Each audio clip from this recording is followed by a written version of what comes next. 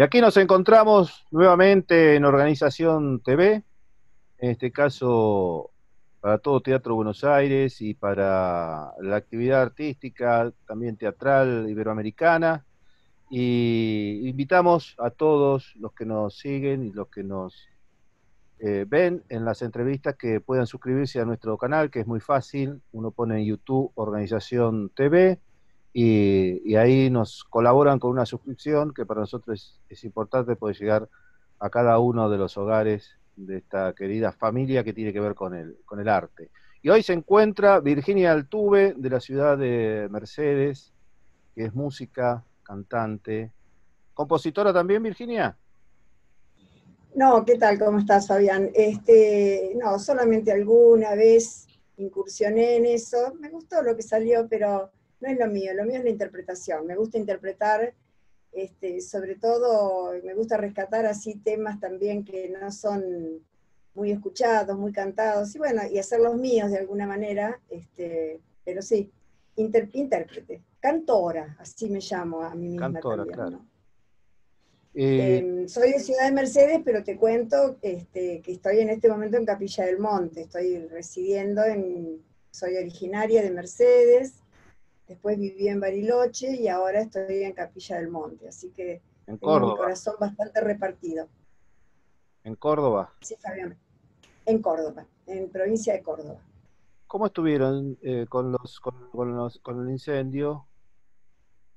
Muy mal, muy fuertes fueron estos incendios, bravísimos. Este, bueno, hubo mucho monte nativo quemado, muchísimas hectáreas no solamente en Capilla del Monte, en esta zona, sino también en Cosquín, hubo muchos focos.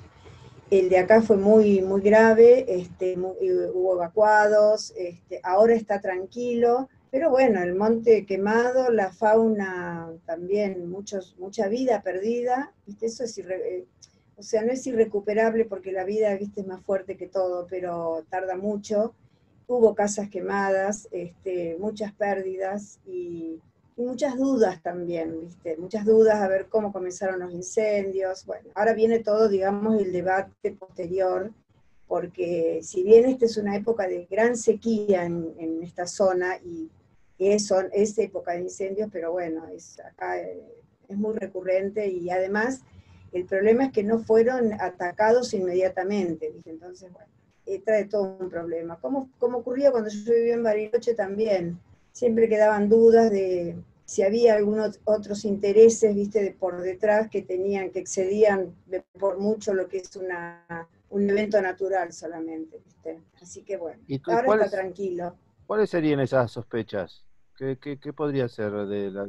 Que, acá hay muchas, eh, hay organizaciones ambientalistas, viste, lo que siempre está dando vuelta, yo te digo lo que vi también en Bariloche, viste, que son zonas turísticas, generalmente eh, o sea, son hipótesis, por supuesto que estoy hablando hacia nivel personal por lo que he escuchado, pero generalmente también hay este, negocios inmobiliarios mm. o tal vez algunas otras eh, búsquedas este, de, o de minería o de otro tipo de negocios que uno por ahí ignora este, y bueno, yo recuerdo, te lo digo más de Bariloche porque yo viví muchos años y acá en Capilla hace poco que estoy viviendo, si bien conozco gente que está en el tema, pero recuerdo que en Bariloche por ahí ocurrían incendios, bueno, pasaba el tiempo, ya después nadie más se acordaba y de pronto en el mismo lugar, cinco años después, había un country o un barrio, o bueno, pues quedaba bastante claro, ¿no? Que había sido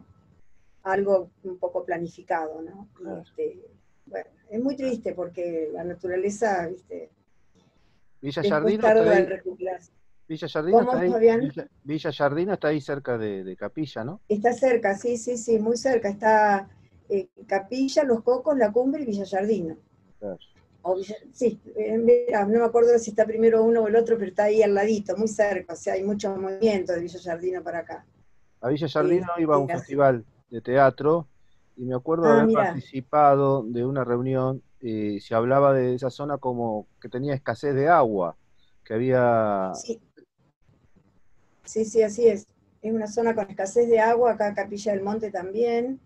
Este, y esta es época sin lluvia, ahora desde marzo no llueve, no cae una gota de agua. desde marzo.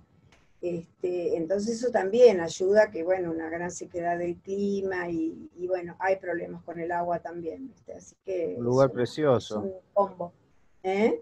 Que son, lugares preciosos todos esos. Son bellísimos, muy bellos, muy bellos. Así que...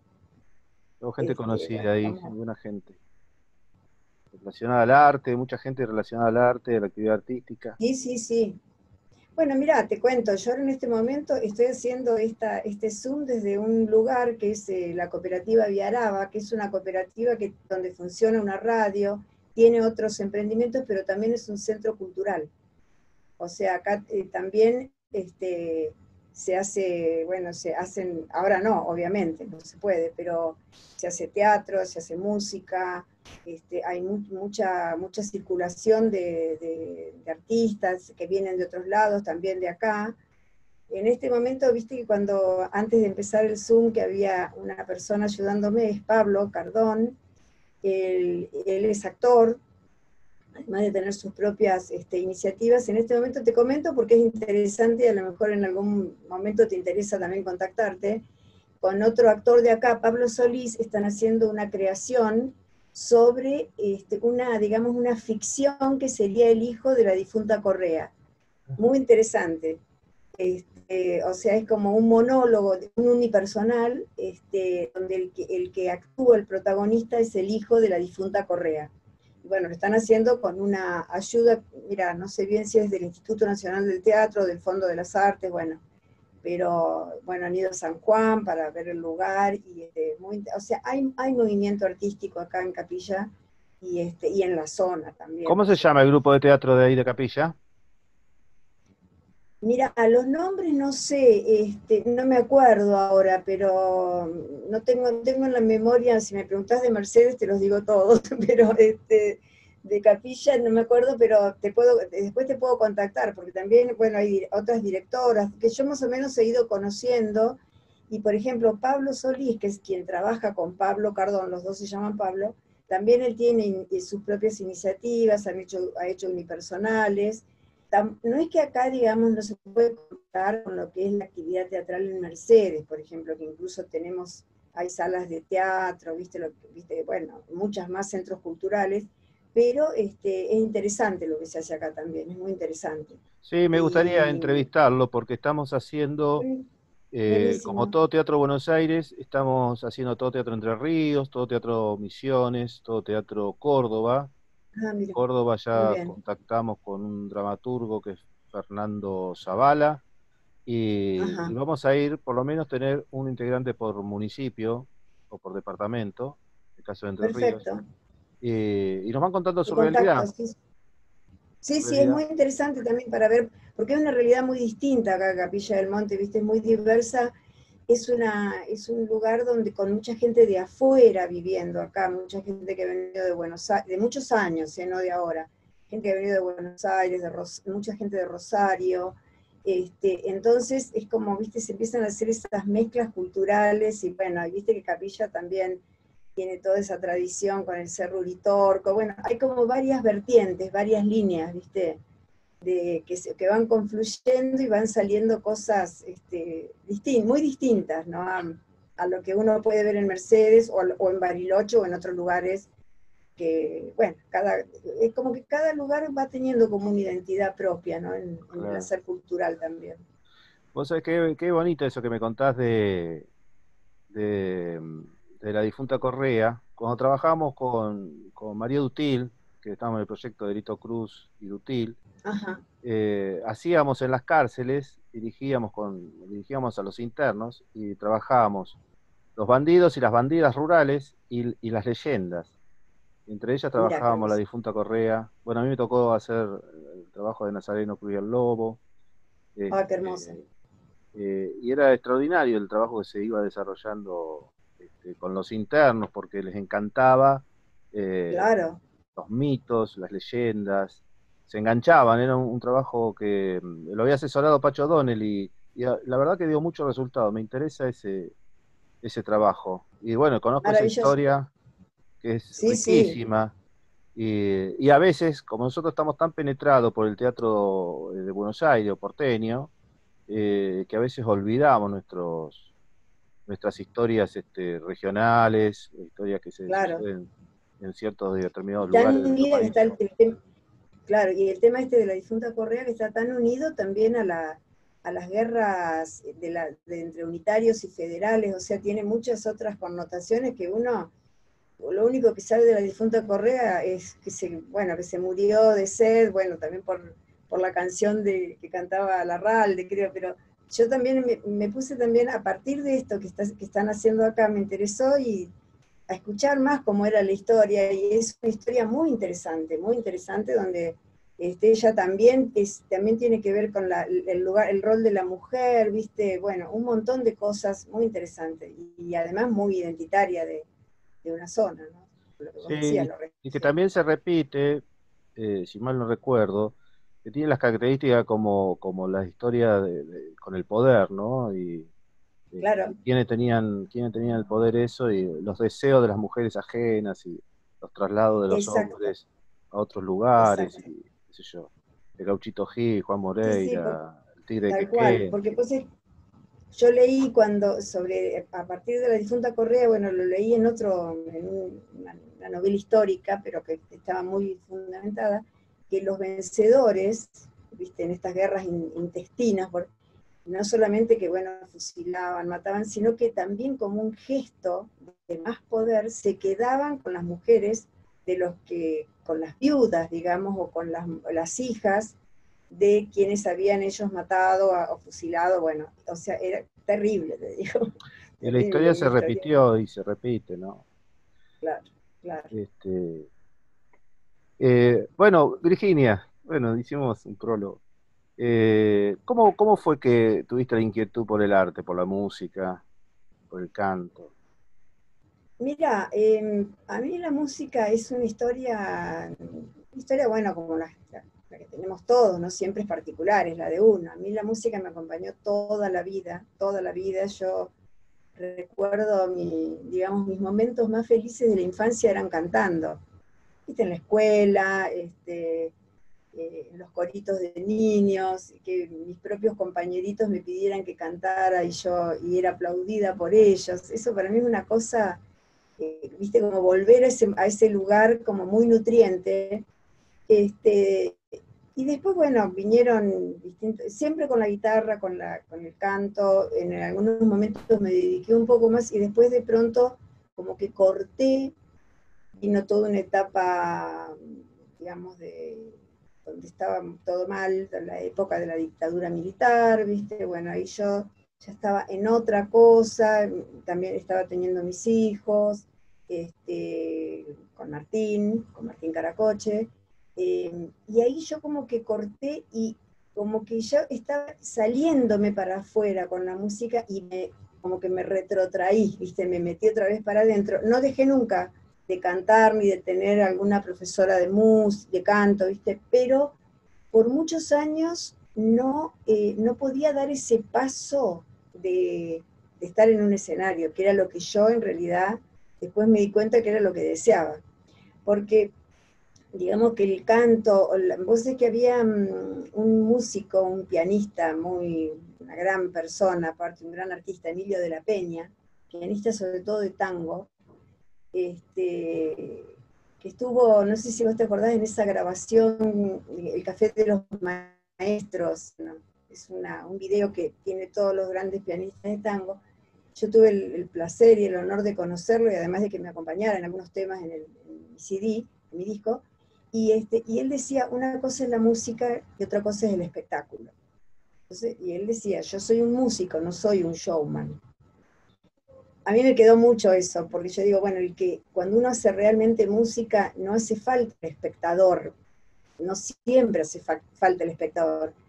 Pero bueno, yo se nota que todavía estoy en un estadio anterior y a mí me gusta mucho, me gusta mucho ser escuchada. O sea, para mí es un gran placer, uno de los grandes regalos de la vida, este, poder eh, ser escuchada y que cuando termino mi, recital, que a lo mejor a veces con más gente, a veces con poquita gente, bueno, como sea, pero que alguien, que vos veas que pudiste aportar algo a la emoción del otro, que algo se movió en, el, en alguno, no digo en todos, ¿viste? Ojalá, pero y que eso te vuelve, te vuelve de algún modo.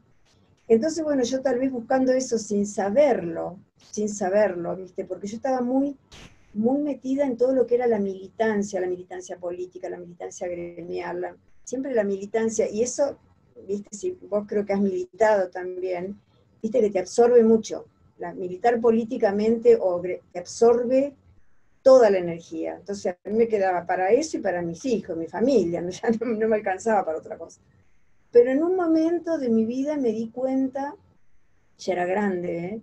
No me preguntes cuántos años tenía, pero era grande, y, este, y me di cuenta que lo tenía que hacer, que lo tenía que hacer. Y Martín, mi compañero, a quien vos conocés, conociste, él me dijo, mira, el arte es algo, el arte o esa, ese impulso, es algo que cuando estás fuerte o lo haces o de algún modo te va a terminar enfermando, te va a hacer mal si no lo sacas.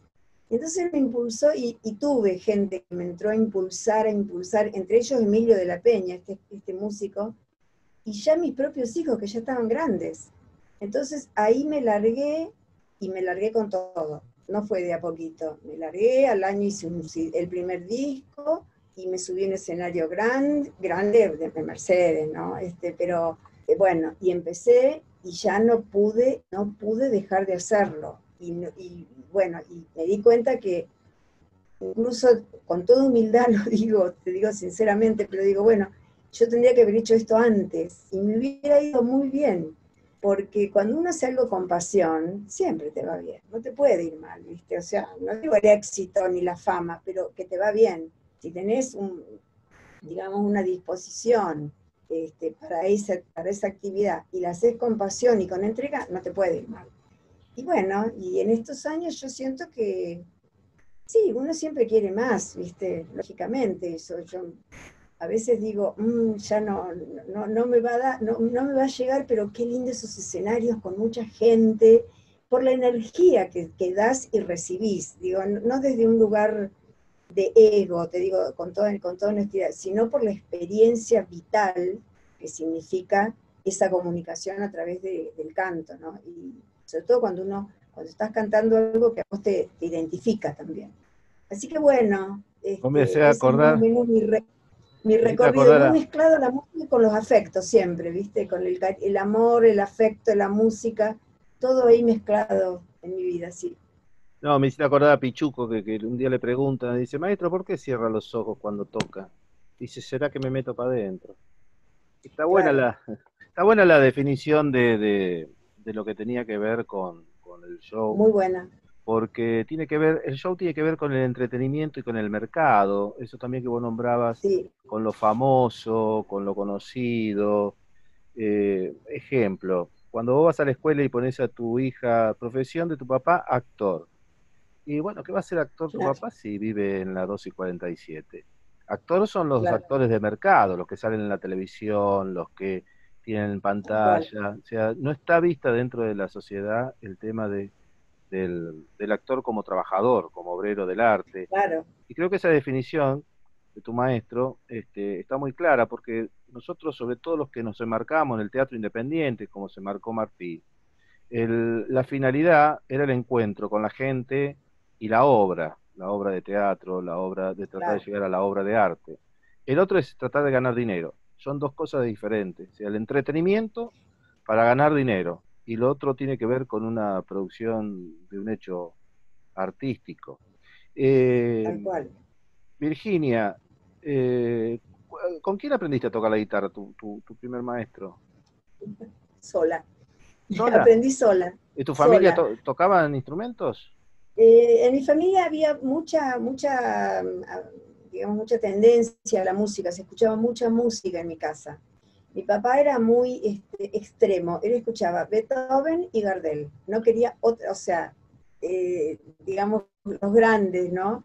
Y yo me, lo acuerdo a mi padre poniendo este, en esos tocadiscos de antes, ¿viste? Los grandes, ponía música, y se ponían los auriculares, y porque le gustaba escuchar muy fuerte la música después se hace los auriculares y dirigía, dirigía mientras escuchaba, ¿viste?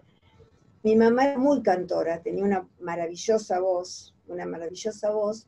Eh, y bueno, pero resulta como que en mi, nosotros éramos tres hermanos. Mi hermana mayor fue a piano en ese momento, muchos años atrás. Mi hermano menor, Guillermo, que vos conocés, fue a guitarra y a mí me tocó inglés. Y a mí me mandaron inglés y fui inglés. Yo quería cantar, yo quería bailar, yo quería otra cosa, ¿viste? Pero este que los padres, y lo digo con todo respeto y cariño, no miraban mucho lo que el chico quería. Bueno, te toca esto, anda. Así que yo em, empecé a perseguir a todos los que tocaban la guitarra. Me conseguí una guitarra vieja, te juro que fue así. ¿eh? Una guitarra vieja heredada, me la hice arreglar sola. Tendría 10 años, 11. Y después perseguía a todos los que tocaban guitarra y les decía que me pasara los tonos y así aprendí. Tenía, lo que pasa es que también digo humildemente, pero tenía oído, ¿viste? Y, bueno, siempre hay gente que te, que te ayuda. ¿Sabes quién? Para mí fue como dos o tres referentes grandes en Mercedes. Uno fue Pebete Balado. Yo no sé si vos lo conociste, era profesor de folclore en las escuelas. Sí, yo aprendí, aprendí malambo, era profesor de malambo en la escuela 7. Aprendí a bailar folclore este, con él, que vivía ahí en la 12 y 29, una casita de ahí. Me parece que sí, exacto. Y él, bueno, él nos iba a las escuelas y nos enseñaba a bailar. Yo quería bailar, viste que siempre, yo siempre quiero lo que no tengo, no sé si a otro le pasa. Eh, pero yo quería bailar, pero él me hacía cantar. Y igual le agradezco mucho porque él como que también para mí fue como un lugar de nutrición eso, viste, de nutrición en la infancia. Después ya más adolescente, más grande, otro referente importante para mí fue Argentino Valenzuela.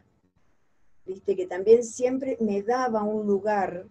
Y después otros músicos que giraban ahí, bueno, toda la movida folclórica de, de Mercedes. Este, y bueno, ya te digo, aprendí sola. Y recién, te digo, después de muchos años, una vez en Bariloche con un cantor muy conocido, un cantautor barilochense, Edgardo Lanfré, que en el verano hizo un taller para docentes y como yo trabajaba en educación, me enteré y fui y fue la primera vez que aprendí algo de técnica de guitarra. Después que tenía montones de vicios, ¿viste? Porque cuando vos aprendés solo tenés muchos vicios para tocar. Este, Bueno, así que esa fue mi historia con la guitarra. Con el canto, eh, o sea, yo canto naturalmente, obviamente, pero por eso yo digo, yo no aprendo, no he aprendido a cantar, pero sí aprendí que es necesario tener una, un entrenamiento de la voz para, para que te rinda más, para que te dure más también. Y bueno, ahí em, mi primera profe, que yo siempre le digo y, y la admiro tanto, fue Amalia Guaraña en Mercedes Después he ido también a algunas clases en Buenos Aires, alguna vez ya ni me acuerdo, no, no, no así digamos con continuidad, pero sí algún taller. Y después en Bariloche, este, también en Mercedes hubo otra profesora que se llamaba Virginia, no me acuerdo el apellido, también fui con ella. En Bariloche fui con una directora de coro, y también en Bariloche integré, empecé a volver al canto más público con un coro este, así un coro de, poca gente, y, bueno, pero yo me di cuenta que es necesario tener un profesor de canto si querés dedicarte a cantar. Claro, sí, el entrenamiento, el entrenamiento vocal es, lo mismo, es muy parecido para el actor.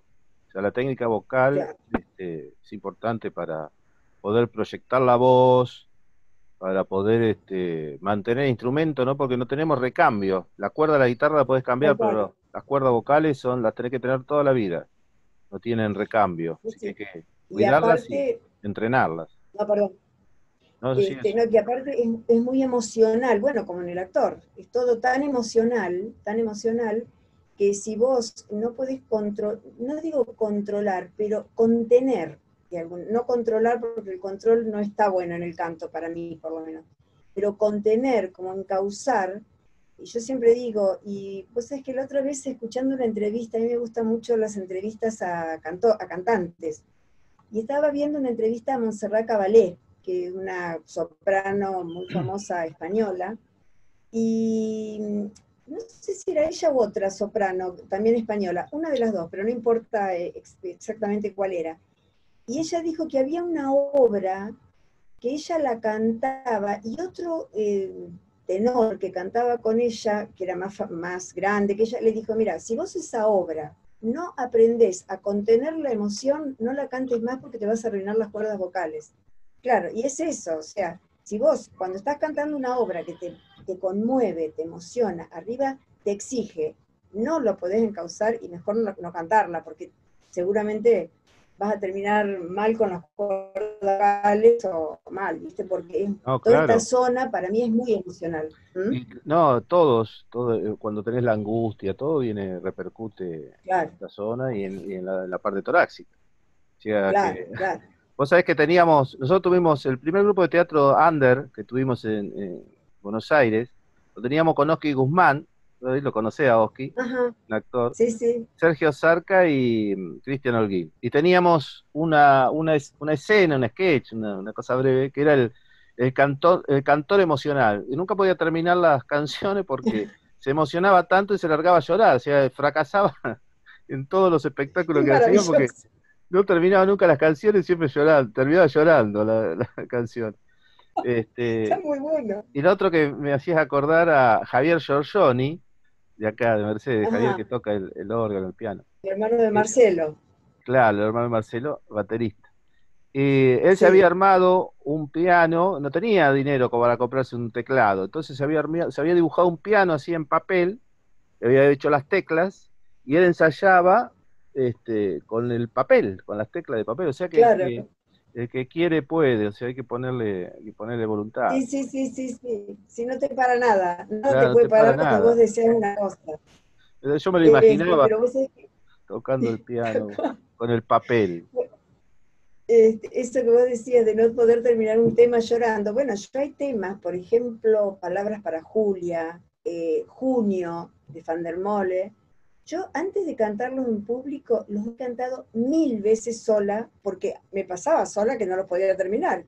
Yo decía, no, no puede ser. Uno tiene que lograr que se, que se emocione el público, no uno en ese momento. Se supone que uno ya cuando vas a, a presentar un tema así, digamos, fuerte, tanto desde la letra como desde la música, ya lo has trabajado. O sea, ya has trabajado esa emoción para poder presentarlo y que el que se emocione vos se lo, se lo ofrendás al público para que pueda captar esa emoción, pero uno ya tenerla trabajada, si no, termina llorando, lógicamente. Es, exactamente igual que el teatro, es decir, la técnica para, para, poder distanciarse, porque también puede ocurrir que eh, hay muchos actores que al no tener la técnica, eh, a veces son autodidactas o, o, histriónicos, entonces cuando tienen que hacer obras, que yo, por ejemplo, obras del Tato Pavlovsky, donde tocan parte de, emocionales muy fuertes, eh, eh, eh, que terminan afectados, los afectan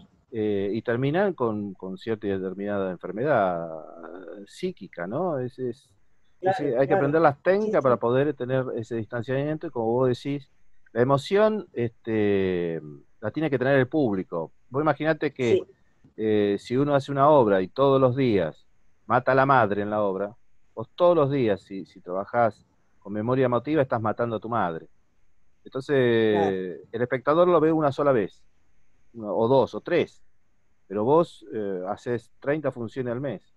Entonces, durante 30 días estás matando a tu madre. Entonces, es complicado el, tema de... Por eso por eso están las técnicas, por eso, por eso se estudia, por eso se, se incorporan herramientas. Eh, bueno, por eso, eh, yo ya te digo, he hecho algunos talleres eh, con, no sé, que no me acuerdo el nombre porque fui tanto tiempo en Buenos Aires, era no me puedo acordar el nombre, era francés, y él era actor, pero enseñaba a cantar. Y yo fui dos o tres veces, pero esas pocas veces que fui me sirvió para entender algunas cuestiones, ¿viste? que eran importantes en eso, y después, bueno, yo también lo seguí trabajando, también lo, hablas con, lo hablo con, con otros cantantes, otros músicos, con actores, con algún amigo, actor, viste que yo, para ver eso, porque también esto que vos decías, o sea, como que uno que tiene que tomar una distancia, pero tampoco una distancia tan grande que, que, que de algún modo te, no sé, vos estás con la emoción adentro, pero trabajada, ¿no? Porque también si te distancias mucho es cuando es una técnica fría que al otro no le dice nada. Eso a, mí me sorprende cuando yo termino de cantar y alguien viene y me dice, estábamos todos llorando, y yo no lo puedo creer. Digo, ay no, qué feo, pobre, todos llorando. Pero es cuando lloras con una emoción sana, ¿viste? Una emoción que necesitabas por algún motivo largar, que eso también supongo que el teatro, eso es lo que uno va a buscar también. ¿eh? Sí, claro, sana, sana, es sanador. Bueno, de la famosa, la famosa catarsis. Claro, eh, tal, cual. Catarsis. ¿Por qué te fuiste a Bariloche? Mira, cuando nosotros nos fuimos fue, mm, a ver, em, yo tenía ganas de moverme de Mercedes. Por así, por, no te voy a decir un capricho, porque no está bien eso, pero era como que quería, eh, yo había estado siempre viviendo en Mercedes, y viste que Mercedes es una ciudad hermosa, yo la amo profundamente, soy mercedina de alma y viva donde viva, voy a ser mercedina, ¿viste? pero en una ciudad que a veces te tira mucho para atrás. Yo quería como salirme de algunas, algunos mandatos, demasiado mandatos, ¿viste? Mandatos sociales, familiares, bueno, todo lo que, lo que todos te llevamos, ¿no? Y que después también reproducimos. Y bueno, entre una fuimos buscando lugares. Martín no tenía tantas ganas, Martín es mi compañero. Él decía que, porque yo le decía que pensaba hay que cambiar las condiciones para poder cambiar uno también. Él decía, ves, hay que eh, uno tiene que cambiar aunque las condiciones no cambien, ¿viste? Bueno, eran, son como dos posturas. Finalmente triunfó mi postura y nos fuimos a Bariloche este, y no me arrepiento. Fue difícil, ¿eh? no fue una experiencia fácil. Nos tomó justo la década del 90, con toda la crisis económica terrible que en Río Negro fue igual que en todos lados, pero bueno, nosotros vivimos ahí, fue terrible. Pero así todo, este, yo no me arrepiento para nada y, nosotros yo tengo seis hijos. Este, los seis me dicen, no, fue lo buenísimo que nos hayamos movido de Mercedes y este y bueno, hicimos esa experiencia de vida, después volví a Mercedes y ahí hice todo lo más fuerte en canto, en la canción, digamos, y, ahora bueno, estoy acá en Capilla del Monte, no sé hasta cuándo. Martín, Martín, ¿cómo fue que, comenzó a, dirigir un grupo de teatro en, en, Mercedes? No, hablando de Martín Caracoche, director teatral de la ciudad, profesor y odontólogo. Ah, no sabía. ese, es su trabajo. Mirá, yo a Martín lo conocí en la militancia política. Él ya había hecho toda su trayectoria más en el teatro, después volvió. Este, pero bueno, sé que todo empezó en un, como en un grupo de, de jóvenes que mm, creo que frecuentaban algo que tenía que ver con la mm, con lo religioso, con lo católico, ¿viste? Con, no sé si era la acción católica, no sé, eso no sé. Y ahí empezaron a trabajar, que trabajaba también Alfredo Cusa, este, Alberto, eh, creo que Alberto Igón, mucha, mucha gente que después fue muy, muy referente de lo cultural en Mercedes desde distintos lugares, ¿viste? Y ellos armaron el grupo Studium, que, bueno, yo no me acuerdo tanto por mí porque yo no estaba tan cerca del teatro, pero me acuerdo que en ese momento, en Mercedes, década del 70, fines del 60, había este, tres grupos de teatro importantes. Uno era el Studium, La Barca y Talía. Talía como creo que es el más antiguo de todos. Del 61. bueno, Martín, 61. Ah, mira, mira. Este, mm, y bueno, Martín empezó, eh, ya te digo, ellos trabajaban muchísimo y buscaban obras sobre todo de mucho contenido filosófico, eh, era como un teatro para dar mensaje, ¿viste? Para dar mensaje. Yo te digo, esto lo sé porque él me lo, me lo, me lo comentó, más o menos después lo fui entendiendo, no fui partícipe de eso para nada, este, salvo alguna vez haber ido a, a ver alguna obra, este, y bueno, después cuando ya em, empieza toda la época de la militancia, viste que aparece, por ejemplo, en Brasil Augusto Boal, o sea, otra línea del teatro, y Martín empieza a investigar por ese lado. Viste que mm, hacían intervenciones, o sea, el teatro, del oprimido, este, eh, claro. Fue, uno de los que marcó, digamos, una descolonización en América Latina de, lo teatral, ¿no? Claro, claro. Y entonces, bueno, ahí mm, un poco mezclado con la militancia política en la, en la, juventud peronista, ¿no? Este, ahí empezó también a trabajar más desde ese lugar, pero ya no con un grupo de teatro, sino más con, con, compañeros y compañeras, con militantes, bueno, para hacer teatro en los barrios, y este, fue otra etapa, pero bueno, después todo eso quedó absolutamente abortado, así que... Virginia, eh, Virginia, he leído, haciendo un estudio de los compañeros que ya no están desaparecidos en la última dictadura, que muchos eh, tenían actividades teatrales, hacían teatro. Sí, trabajaban Con, ustedes, trabajaba con Martín. Claro, con, eh, pero por ejemplo, ya te digo, anterior a, esa militancia, por ejemplo, Lucho Boicochea, Lucho, Boicochea, que es un compañero asesinado, estaba en el grupo estudio. Yo, mira, tengo, a, él, a él sí me acuerdo que lo vi actuando muy bueno, era, yo no me acuerdo si era Yetatore la obra, me parece. Y, este, y después otros compañeros, no sé si algún, por ejemplo, bueno, Oscar Tissier, que fue militante también, ahora vive en España, eh, Daniel Merialdo, que también fue militante, eh, había varios, varias gente que como que provenían de ese lugar también, ¿viste? Tengo un dossier hecho del 68 al 78 y están todas las, actividades culturales que se desarrollaban y de ahí este, tenemos editado todo el trabajo que hacían los compañeros en, la actividad cultural y bueno, todo el grupo estudio. Claro. Estás haciendo mención.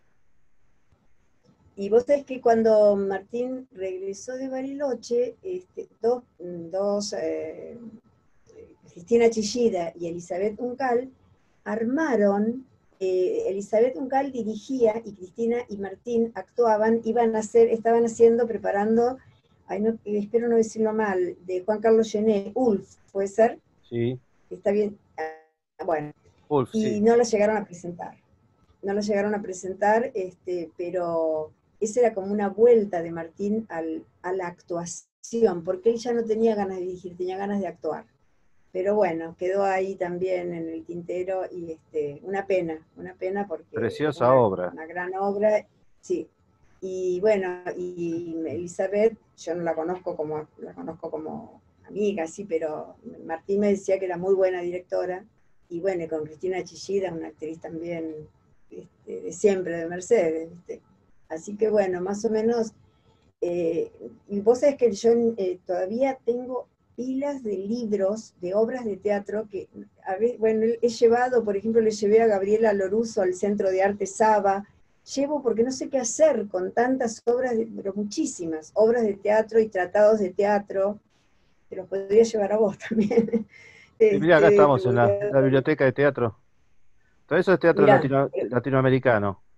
Estamos mucho con el teatro latinoamericano estamos, estamos investigando. Vamos a ir para un congreso latinoamericano de teatro. Estamos trabajando sobre... Qué hermoso. Mañana tenemos una charla sobre teatro y colonización, la segunda parte. Ah, Wilson, Wilson Coelho de Brasil, eh, Josué de México, Víctor Soto de Chile, el fundador del Encuentro de Teatro Popular Latinoamericano y ahora el Enfetela, este, y Osvaldo Chazarreta, que es de, de Ramos Mejía, de Grupo Oculto, trabajó mucho tiempo con Chacur, que, falleció exiliado en España. Estamos trabajando en eso fuertemente, este, buscando nuestra, nuestra propia identidad. Virginia, ¿y cómo, cómo, cómo vivías esa época este, eh, de la dictadura en Mercedes con, con, con, todo lo que tenía que ver con lo cultural, con lo artístico? Vos me dijiste que te metiste para adentro.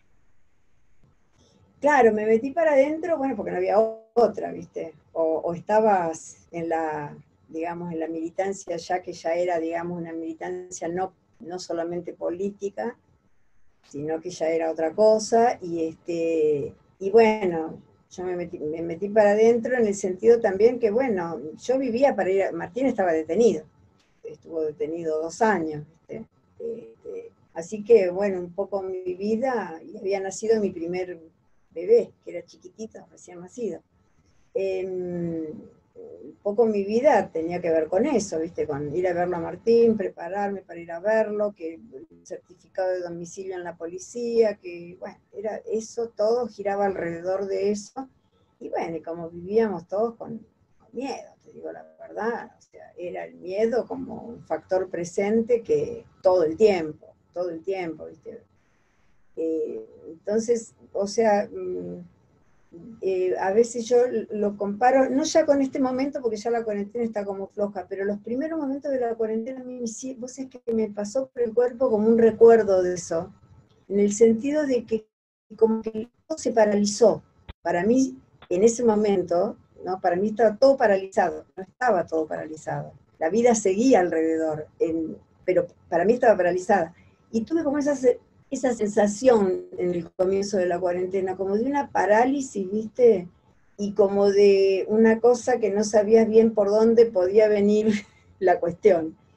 Bueno, después pasó, pero este, eso ese momento de la dictadura, y te digo que después hubo unos años más que ya en democracia y todo, todavía seguía esas, no por, no estoy hablando por la propuesta política de Alfonsín ni nada, sino que te quiero decir como la sensación te queda, viste, en el cuerpo, que seguís caminando por la calle mirando para atrás, viste, a ver si aparecía el falcón verde, porque siempre estabas con esa sensación de, este, o que tocaban el timbre muy tarde en tu casa y vos ya te sobresaltabas, viste. Y eso que, bueno, yo no, era, digamos, primera línea ni segunda, era tercera, tercera o cuarta, viste.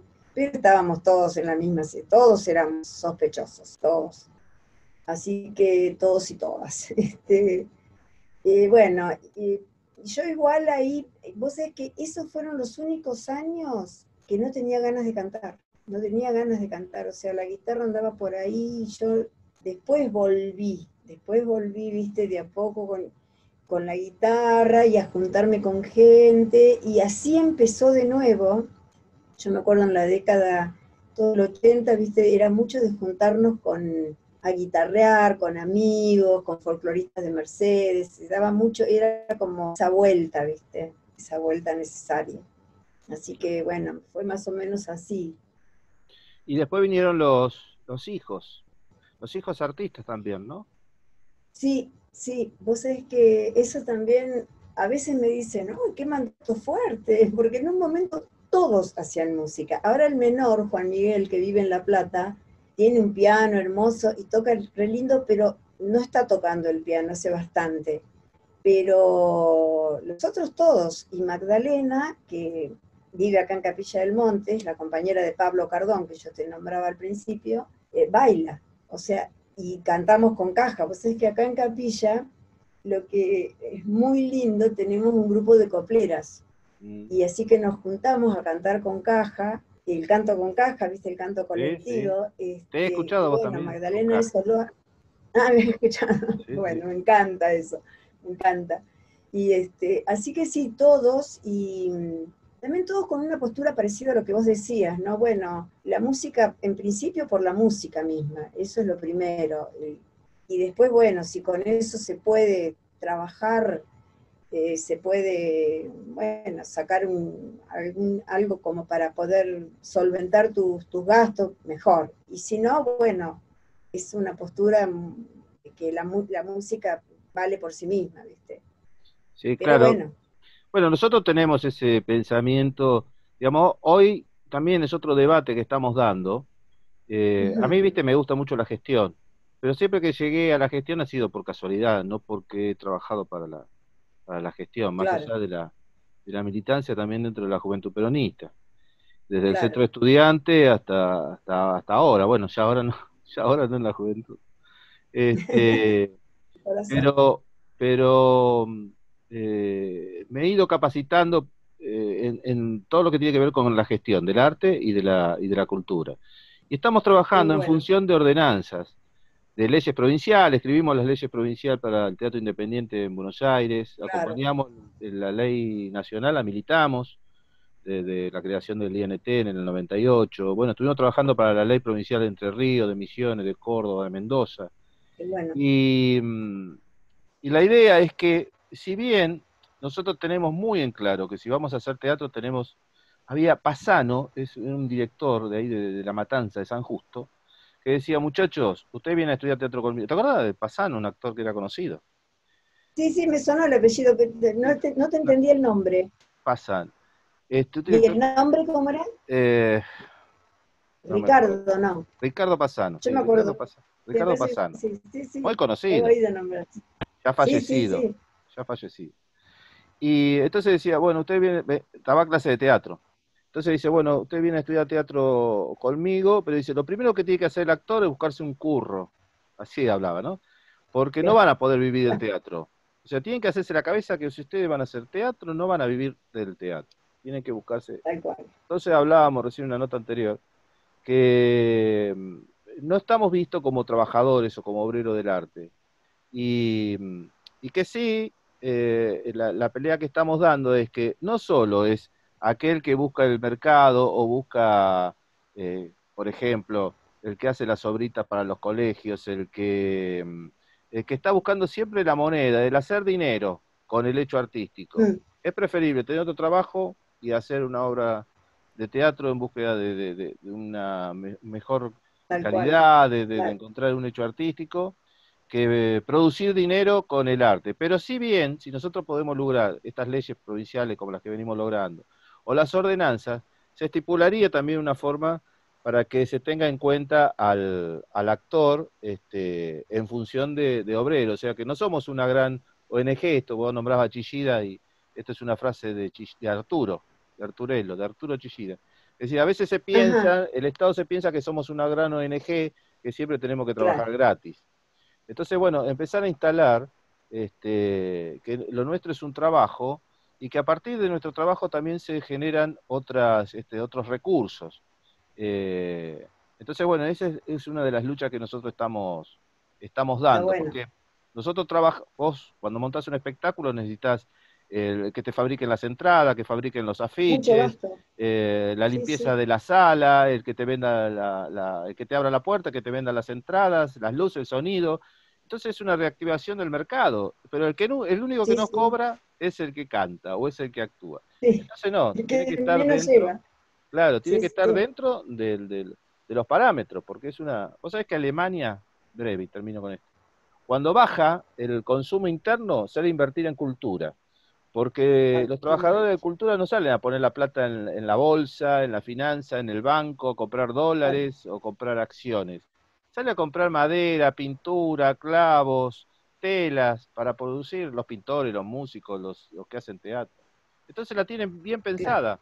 Invierten en cultura porque eso reactiva el, el mercado interno. Entonces, bueno, esa es otra pelea, va, te la cuento para, que sepa que estamos... bueno, pues es que mientras vos hablabas, eh, en un momento me acordé, un actor, no sé, no, no, te lo nombro porque no, no, me acuerdo quién era, pero era un actor de estos actores de mucho oficio, como si dijera Pepe Soriano, no era él, me parece. Y dijo una, una vez dijo algo que siempre lo recuerdo, porque dice, los actores somos siempre potenciales desocupados. Claro.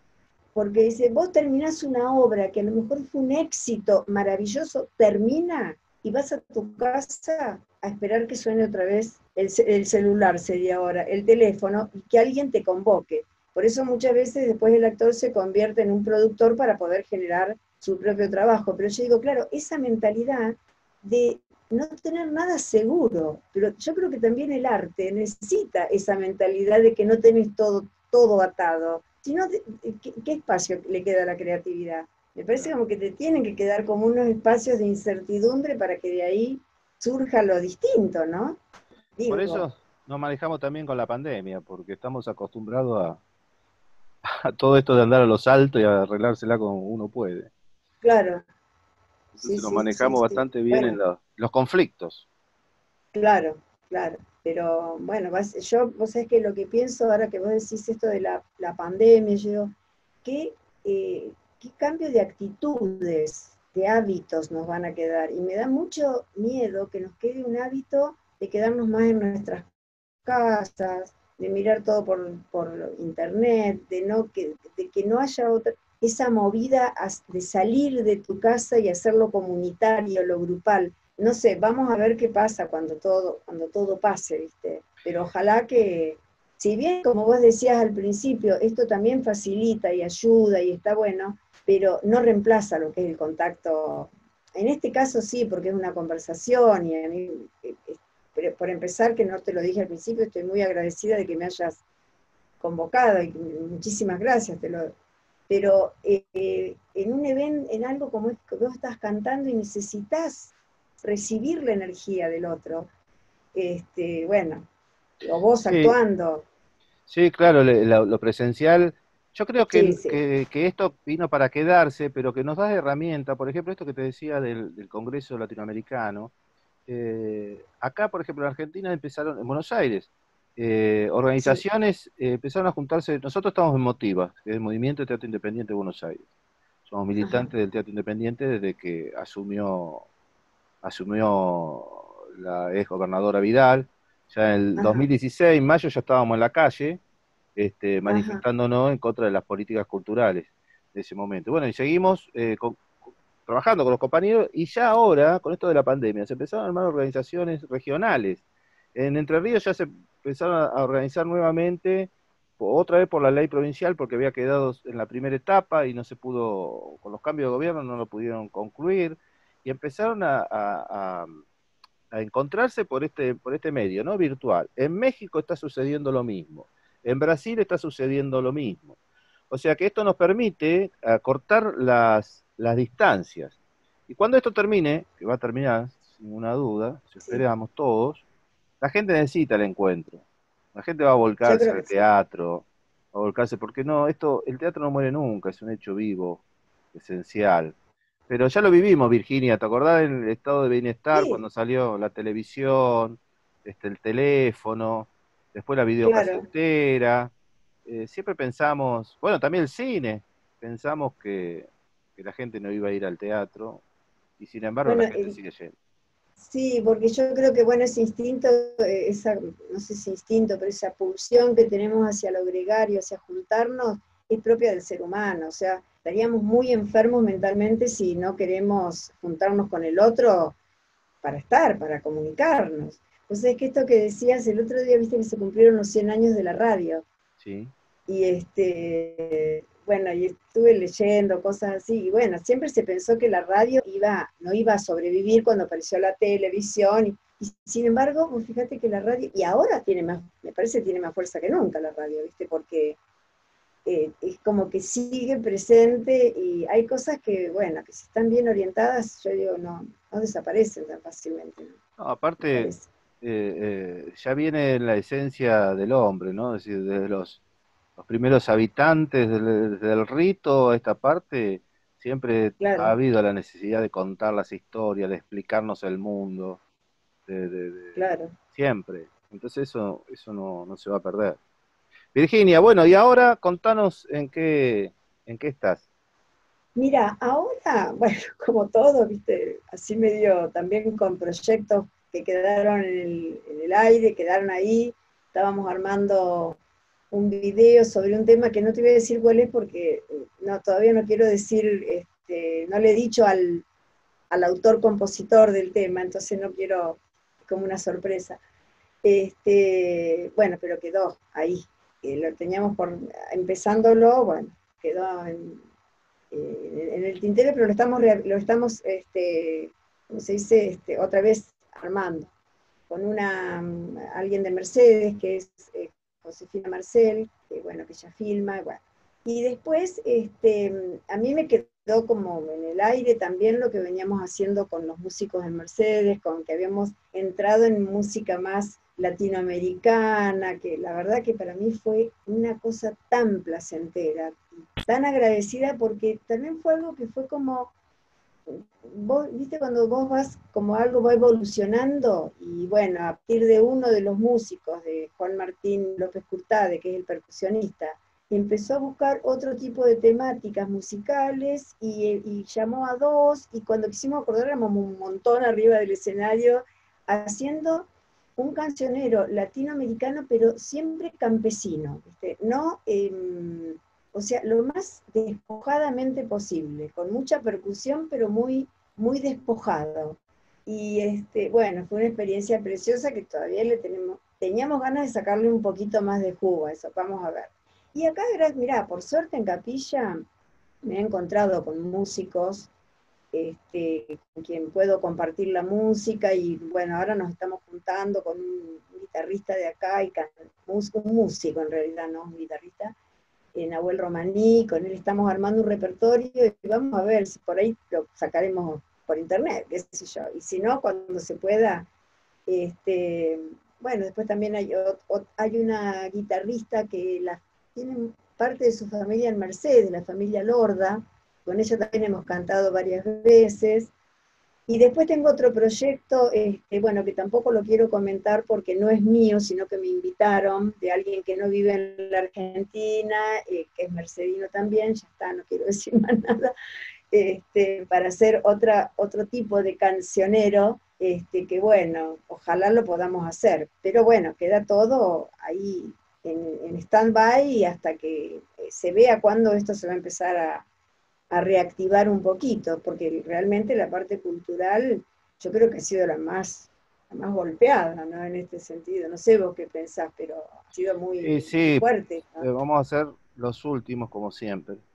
Eso ha sido a lo largo de la historia. Mira, los actores eran enterrados a un kilómetro de, diferente de otro cementerio, un kilómetro del cementerio para, para afuera. No teníamos, ni siquiera íbamos al cementerio, o sea que estamos acostumbrados a ser los últimos. Pero bueno, pero yo pienso, como vos decías también hace un ratito, que cuando esto se reactive, la gente, vos es que yo soy optimista en ese sentido, pienso que la gente va a tener muchas ganas de, o sea, va a haber un grupo que a lo mejor no, que se va a quedar en la casa, que el miedo le va a durar, no sé, pero va a haber un grupo, va a haber mucha gente que va a tener ganas de volver, de volver a, esto, ¿viste? A, compartir la música, el canto, el teatro, la pintura, todo, ¿viste? Pero si la gente está volcándose a ver por streaming, quieren ver, quieren ir, quieren, quieren el ritmo. Sí, sí, sí, la música que ha, digamos que es mucho más convocante que el teatro, que mueve miles y miles de personas, los recitales. Hoy la música está por arriba del teatro, pero con miles y miles de espectadores más. Este, la gente tiene ganas de ir a, escuchar, de, compartir, de, salir, de, vivir, ¿no? Uno se está encerrado, se va a terminar deprimiendo, o sea que la gente va a buscar salir. Y ahí tenemos que estar preparados. Tal cual, porque bueno, en fin, finalmente es, lo que te nutre, te nutre el espíritu y te nutre el cuerpo, te nutre la vida, ¿viste? La vida en su conjunto, todo lo que es lo artístico y lo cultural es fundamental. Bueno, Virginia, hemos llegado al final, nos quedaron un montón de cosas, me quedan un montón de cosas para preguntarte, pero ya no va a faltar oportunidad de volver. Eh, siempre le pedimos a todos, a todos los invitados un mensaje para, para todos los artistas iberoamericanos. Wow, este, y yo diría que, que el arte y la, cultura, la expresión artística y cultural, me parece que tiene, el semillero del arte para mí sigue siendo el pueblo, el pueblo este, y las manifestaciones más, más genuinas, más puras. Me parece que siempre tenemos que tener un oído puesto, una mirada puesta ahí, y, me parece que el, rol del, artista, del que canta, de, yo no me llamo a mí misma artista, ¿viste? me parece muy grande ese nombre, como, pero es como poder ser un canal, un canal que eso que, que es genuino, que a lo mejor está en estado más puro, pueda llegar eh, a lo mejor eh, transformado, porque pasa a través del mismo artista y llega de otra manera, pero trae esa identidad básica. Me parece que eso es lo que no hay que perder. Y porque como que vuelve otra vez y, como que se recicla y vuelve otra vez. Por eso, volviendo a algo que hablamos antes, es tan importante, me parece, el, no tanto mirar el afuera, sino mirar el adentro de lo que uno es, de lo que uno siente y cómo está nutrido uno para poder después transmitir algo. Yo sé que, y con esto también es lo último para no sacarte más tiempo, en una película no muy importante, una película norteamericana que no, no tenía grandes valores, pero en un momento hay una, una cantante que empieza a hacer su trayectoria, tiene mucho talento, y entonces la persona que le está acompañando le dice, mira, gente con talento hay mucha, y tal vez haya gente con mucho más talento que vos, pero la diferencia es si vos tenés algo para decir o no. Y el que trasciende es el que tiene algo para decir. Pero entonces yo digo, ese algo para decir no puede ser mi mensaje individual porque eso es muy pobre, tiene que ser el mensaje de más. Eso es lo que yo veo y bueno, ojalá que dentro de esta situación este, la expresión cultural, el arte tenga un lugar privilegiado. Me gustaría que el teatro tuviera un lugar más privilegiado y que no sea siempre la música, porque a veces es falso. Hablamos de la música y en realidad lo que está teniendo lugar es el negocio de la música, ¿viste? Pero sería bueno que tuviera más lugar el teatro, la literatura, que todos tuviéramos un lugar, ¿viste? Este, valorado, eh, sano, no contaminado. Bueno, a eso vayamos. Algún día lo lograremos. Muchísimas gracias, Virginia. Gracias a vos por habernos permitido hacerte la nota. Y seguiremos las instrucciones de Pichuco, como vos decís, ¿no? ¿Será que me meto para adentro? Claro, está bueno, está bueno. Meterse para adentro y después poder volver a salir, pero con esa una mirada como distinta también, Si no, si uno va a ser repetidor de cosas, y bueno, repitamos, pero me parece que lo interesante es lo otro, es la creación humilde, sencilla, pero que sea la creación, ¿viste? Y para eso tiene que trabajar. Muchísimas gracias, Virginia. Muchas gracias a vos, Fabián, muchísimas gracias.